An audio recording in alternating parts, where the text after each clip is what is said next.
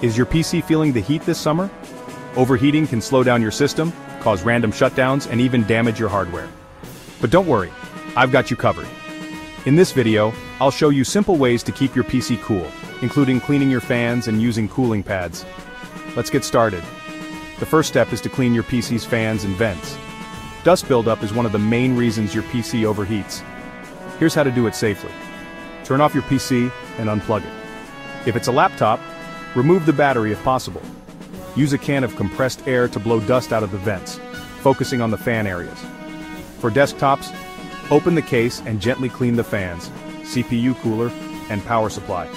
Use a soft brush for stubborn dust, but be careful not to damage any components. Next, let's improve airflow around your PC. Keep it in a well-ventilated area, away from walls or other objects that block airflow. If you're using a desktop consider adding extra fans or upgrading to more efficient ones.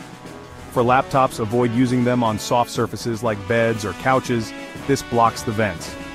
For laptops cooling pads are a game changer. These pads have built-in fans that help reduce the temperature of your device.